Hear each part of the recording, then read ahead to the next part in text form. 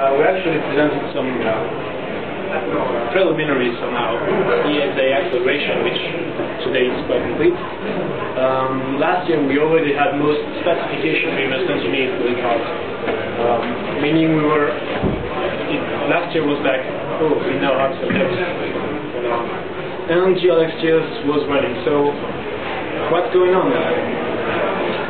Well, the first thing is what we still keep this process, you know, we've got this process of trying to build a bigger and bigger community of developers around this drive, and that's, to me that's very important.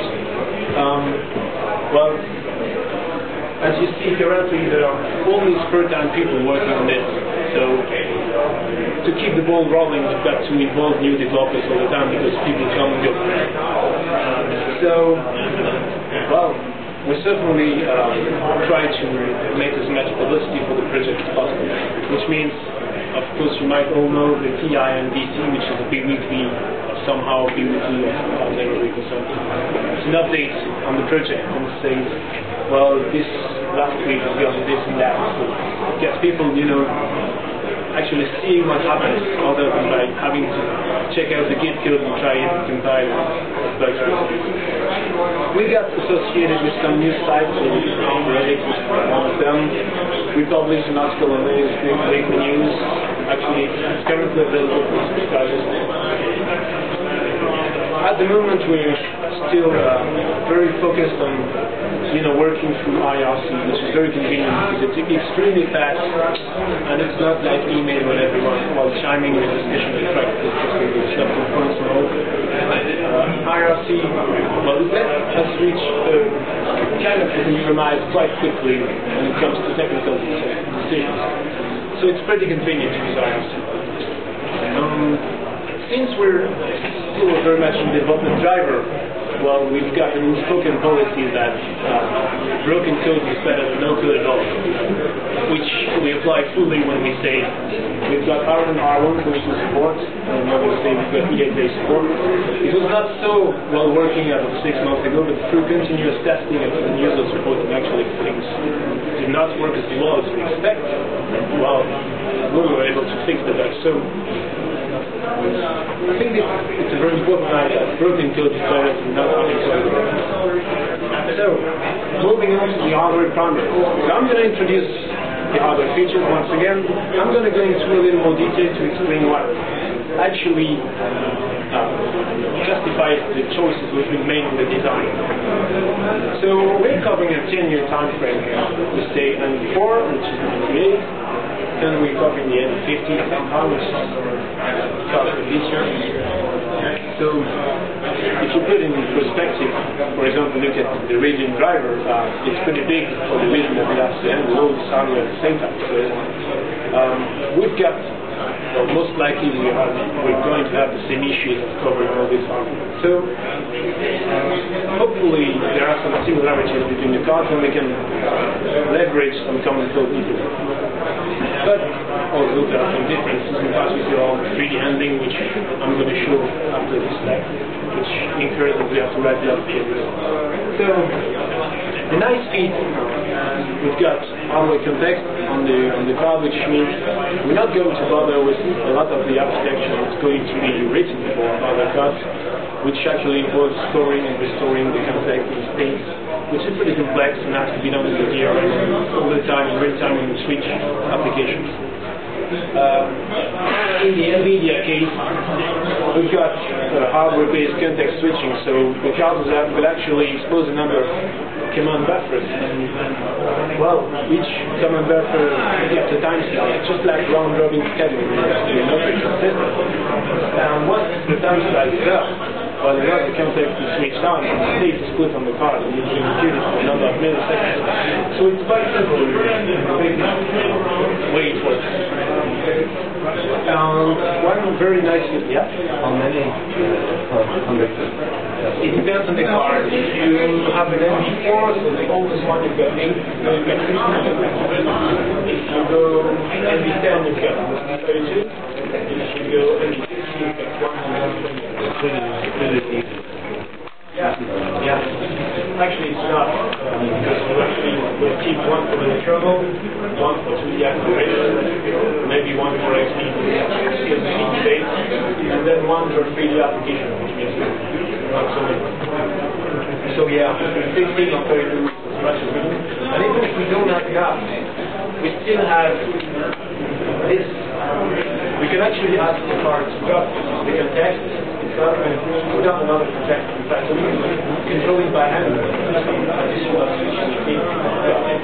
At the moment, I'm putting it very much in development. I don't know what 16 states at the same time in TNT. Uh, we're not hitting the limits here yet. Yeah, but it's true that the hardware can actually help you as well handle the context uh, being used for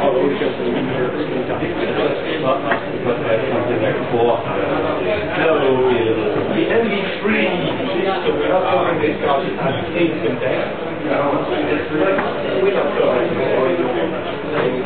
unless someone but actually the NV3 doesn't have to test it out. It's quite totally different mechanisms. So, to sum up, how how really the that happen?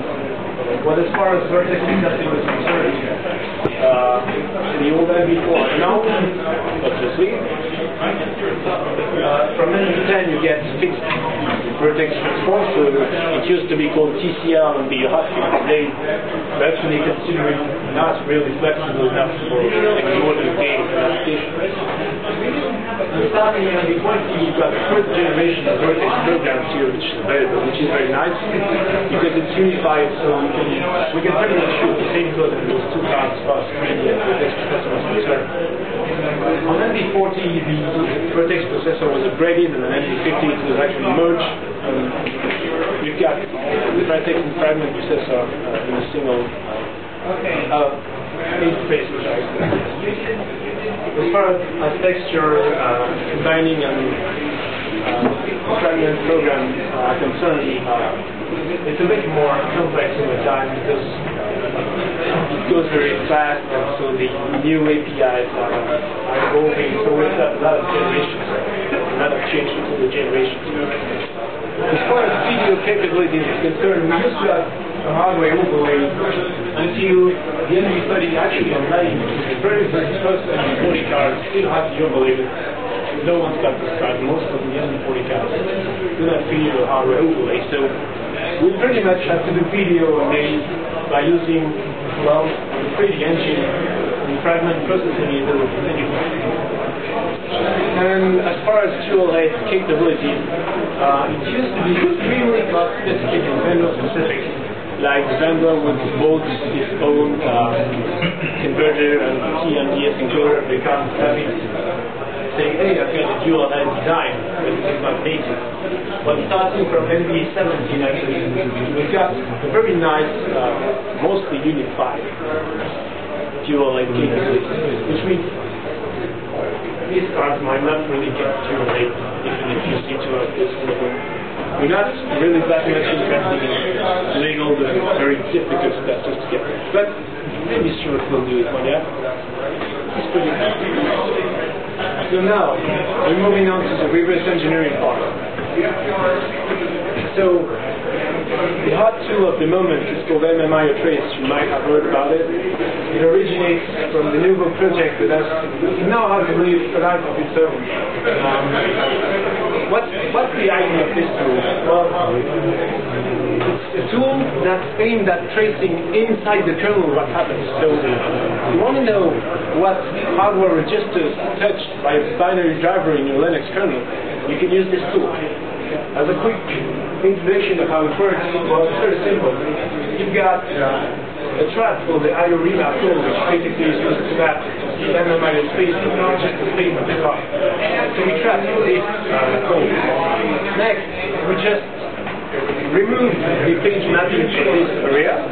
So the next time the, the, the binary driver tries to access the area, it will trigger a page fault, as you expect in more architectures today. And we map the page, we step a single instruction, and then we remove the page again. And by stepping this single instruction, we can actually before stepping into question, right down, what resistance were assessed, was assessed, and what inside this resistor. So in the end, we are able to produce traces of register steps of any binary driver that is used in the Linux kernel. So you can imagine that this project's got a very wider scope than uh, maybe our specific tools. Um, yes, it's getting used because the MadWifi, so MadWifi guys, they they have you know binary piece in their in their Wi-Fi driver, and they are working on reversing engineering it, and they use this tool as well. Sadly, it got broken in 2624 kernels, but that's because we used the hook that was not really widely used by anything else than this tool and the kernel debugger. The debugger was 42, and we didn't really follow the kernel natively. But, but uh, we're now aiming for mainline kernel inclusion because that basically ensures that this step will not happen again. This also ensures that next time we want to reverse engineer a binary driver, every single user will be able to have it as a default in the distribution to have MMIO trace and do reverse engineering of a piece of hardware. So I think spreading this tool is quite interesting for us and that's why mainline inclusion is very important. So we might be aiming at 26, 26, but don't take my word. Next we've got Valgrind MMT, which is a tool that tracks user space access to MMIO ranges. So it works mostly the same as MMIO trace, but it's just in user space. Um, obviously you can use it the source, so you can actually reverse engineer any binary XOR user space driver. So we, we can do what we do in the can do that in user space as well. Finally, Renouveau, which is the old dog.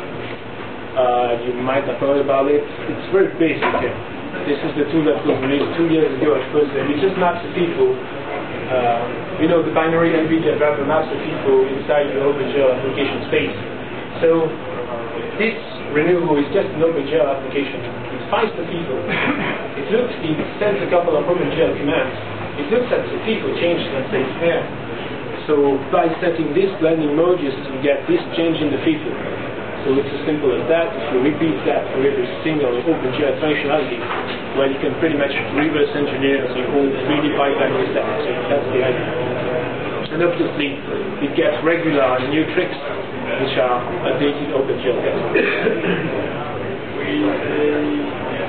So, moving on to 2D support. So where are we now?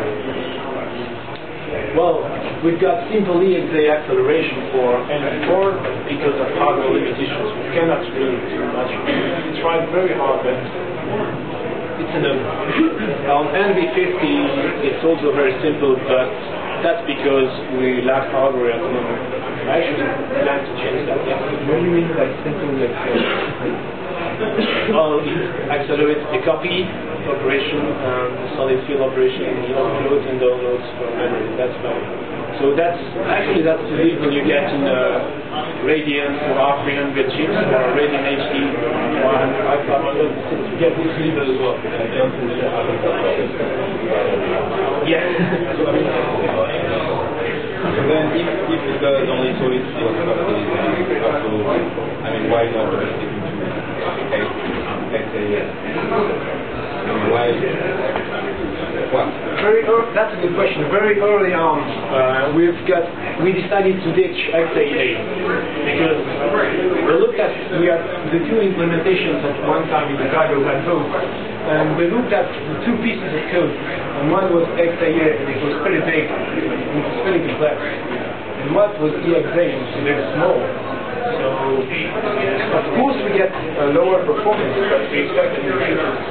So, yeah, core EXA. You're right, this is a bet on the future. We're not interested in fast. We're not, you know, we're not directly willing to do some to do something, yeah. That's, that's, that's, yeah, that's a good question. Yeah. We didn't really want to, you know, involve development time into something that will get thrown sooner or later anyway. Also, um, the nice thing about EXA is you can accelerate XRender API. So Yeah, but it's not in there yet, so and you're not using it yet.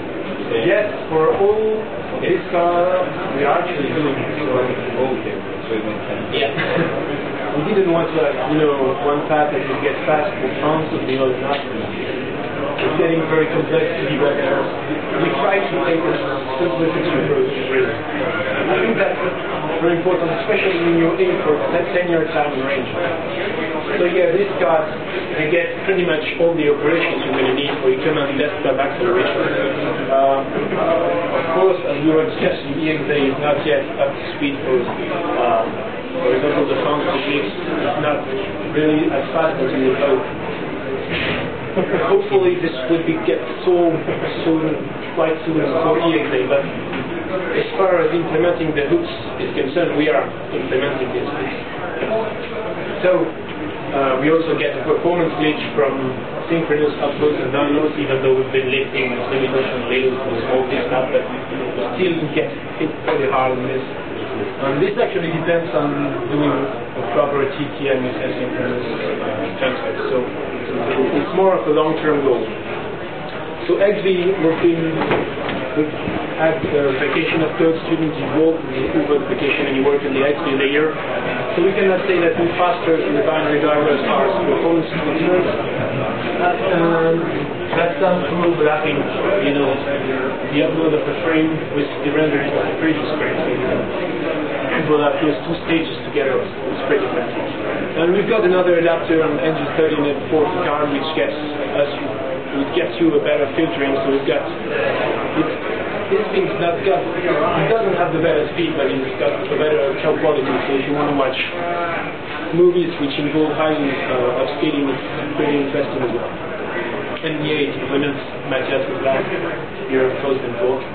Basically, I just listen and then I sat down and did the transition from the slide. Very good. so another thing that's getting more and more important, it was actually the reason Nouveau started in the first place. I had begun, but it was two and a half years ago or something. I had begun to write a BIOS project to just uh, execute the BIOS. So we've got something, if you were there at the ATI talks, you know they've got the state and BIOS stuff. So we've got similar stuff for repeat BIOS. So we had to implement an interpreter for this. Um, ours was actually based on a home booting application um, from the BOS driver, which had also. And this for a long time, and recently was revised by Stuart. Um, it was found, um, we knew this from the beginning, but it was found that it was, it was getting really, really needed for proper mode setting. Uh, especially with all the word outputs you can and all, it's really hiding a lot of, you know, the, the difficulties around the mode setting stuff. So this is a very welcome addition, uh, hopefully to be able to cold boot the cars as well one day, not yet the case. But for example, people who do not want to have an x86 emulator in their in their X will be able to cope with NVIDIA cars with this. So we're thinking for our PC people, we're thinking Italian people. So R and R 1.2, so yeah, we support that mostly, as I said, on the card which gets nice dual capabilities. As I said, the older one was more difficult. We've got dynamic reconfiguration as you would expect from R and R 1.2, and still there is the static firmware location issue, which means you have to pretty much put in your XOR configuration the maximum size you ever want to use, even if you have a single screen. It has to be made for the whole session, but that's not a limitation on our side. Again, it's common architecture. You might have to work this out on yourself. So now, moving on to the meat, the PD support. So, it's really hard to get. So. Postępzona. Postępzona jest. So the old DRI model, we had actually implemented an old DRI style, style driver, mostly to run glxgears. Um, it was something like 25,000 lines. And it required 25,000 lines, which is a lot of, lot of work inside the driver. Um, each driver actually has to implement most of the OpenGL pipeline itself, so drivers get the big things that could be factored in on not. So it was totally suboptimal. So we've got from Tungsten Graphics this really nice architecture, which is called Gallium. Which actually puts as much in command as possible into an intermediate task. So you can pretty much have whatever graphics API you need, and you can have very simple drivers. So for a point comparison, we used to have these 25,000 line DRI old school drivers, and now we've got the 4,000 line NV40 driver, which is working as well even far better than the DRI1. And for, as far as NV10 is concerned, uh, at the start of implementation, it should be pretty, pretty complete, but doesn't work yet. Because the card is much simpler, the implementation is 2,000 lines. So we've got a mostly working 3D driver in 2,000 lines, which is great. As far as maintainability is concerned, this is one. So you're probably going to ask, but if we use a shader representation, you know, in the middle of the pipeline, what about cards that do not have this shader? Well, it's fairly one as well, um, because these cards will get some additional intermediate representation. So we've got just it's just extending to all the cards. It's just as simple as adding additional instructions to the fragment and vertex program instruction set, which basically mimics the, the behavior of, uh, you know, the old fixed pipeline. So you get basically passed down through the pipeline programs that are not real fragment programs, but simple things that that describe these old uh, OpenGL extensions, just using instructions. So this design can actually extend to support these old cards as well, this is work that I'm doing at the moment. And I hope to have an NV10 driver soon and be able to show this out because I think this is still important to support uh, older cards. And Gallium, in my opinion, uh, is too important to be kept for uh, fragment uh, shader supporting only cards. So I think it's very important to extend it for the cards as well. So our current Gallium development, the NV40 driver is somehow working. We'll have Stuart demoing afterwards, I think. Yeah? You're in for demo. You're going to demo? One of them, actually two of them are going to demo. Um, the NV10 and NV30 driver are under development. If you're watching the, the gates, you can see that I imported the NV30 driver like one week ago and I'm, I've not yet imported the NV10 drivers. So what, what does the future hold? Well,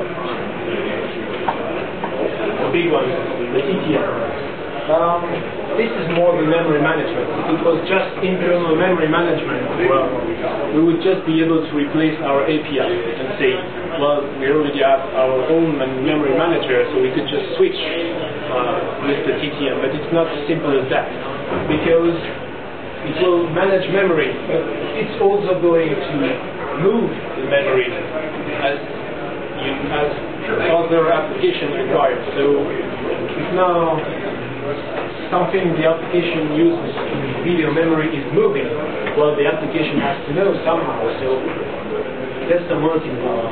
Um, it's not really possible to have the application really know, so the solution is another one.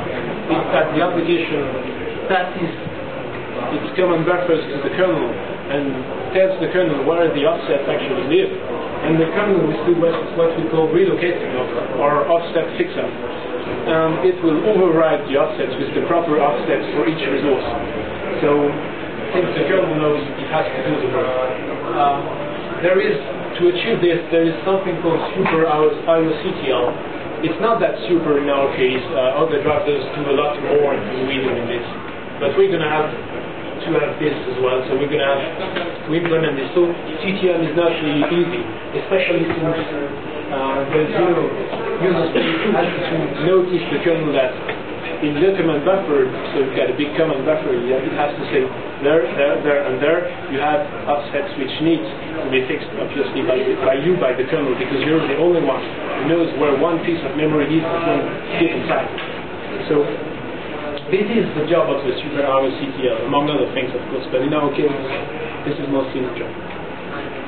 Well, the DRI2 is still very much uh, in the air because for us, I mean, not in general, it's been pushed, but for us, it's still very much in the air. Um, but hopefully, it should be an easy one because it's got a couple of purposes which we actually never had these issues. We're trying to remove the big lock, which is a lock that was, you know, preventing application for simultaneously accessing graphics card from user space, which was quite killing the performance when you start to have lots of OpenGL and stuff at the same time. It's also trying to remove the shared area. So in the old design, the kernel, the X server and the DRI applications, the 3D applications, they all have, they used to have a single piece of memory, which was shared. Um, they could write a bit there and say, hey, I'm doing this and I'm putting this at this place. No, this was particularly useful for what we call clip rectangles, which is a major thing because when you actually do 3D acceleration in your X server, you basically have the 3D application handing a 2D buffer, which is a picture of the 3D rendering of your favorite game. But then, you, you all know that other windows might hide, you know, might obfuscate parts of this 3D window. And if the DRI application doesn't know, it will copy and it will overwrite over the rest. So that's the major uh, issue, and that's why DRI2 is there, because you've all seen this Compiz demo where the cube moves, but the GLXG stops with the cube surface this is really difficult one, yeah? But I understood later to that yeah, to will have uh, only one vendor manager. Yeah. Well, in our case, it's very driver specific. In our case, we're not really sure. That's why I said it's still only my understanding. Yeah. Well, actually, you can have DRI2 and keep locking mechanism. It's not. Okay. It's not explicitly prevented, but the new design lets you have a lockless, lets you have a S shared area that you know, it lets you do things, but it doesn't force you. It's really it's the same for the shared back buffer. You might keep it as well if you need them. No, the design does not prevent this, but it helps you. Actually, the old design prevented you, design doesn't prevent. That's the idea. It keeps flexible I can do. I don't have clear things are already here, I should sort of. Because the old year I suspended driver from exactly like that. You are already like that. Yes, mostly lucky. So I sort of have already here Yeah, we we don't know yet. Just kidding. There's just additional stuff with the swap buffer thing. We don't know yet where, which, you know, we've got three components, kernel components, user space components, and the 3D DRI component. We're not sure where the swap buffer copy should happen and also. We're still evaluating possibilities because there's a very big performance impact to, to, to doing this choice. So we're doing very carefully kernel mode setting. Everyone talks about this. Jerome is going to discuss this tomorrow. How he's doing this in Radeon. We want to do this on NVIDIA. Um, first of all, we need to stabilize our R and R 1.2 interface in user space. Obviously, debugging stuff in user space is easy. Debugging stuff in kernel space is not so much. Uh, but then when it is stable, we plan to move it in the kernel. Except uh, this involves having the BIOS parsing as well inside the kernel. This is going to be a first. it might, I think it might work actually. But, so that's on resume. This is very much a work in progress. Um, it depends on a lot of things. This is why today it's not really happening. If you want to do proper Satisfying the resume, you do it all from the kernel, which means that all user space components have, have to become pretty dumb about the card states and what they expect from the view. Um, as soon as we're there, we'll, be able to very easily suspend and resume, but for now, we're fully working just parser would be a nice tool because uh, better with kernel master here. And then we have to save and restore. Have been experiments. Uh, seems to work somehow. Uh, not You see, yeah. Yeah, it's very hard to to do it. Yeah, it will take. Hopefully the moving more components inside the kernel will help a lot because Mm, otherwise we, we just Mm. if we do not move enough stuff inside the kernel, really the kernel can be the only entity knowing and having full access and understanding of the card.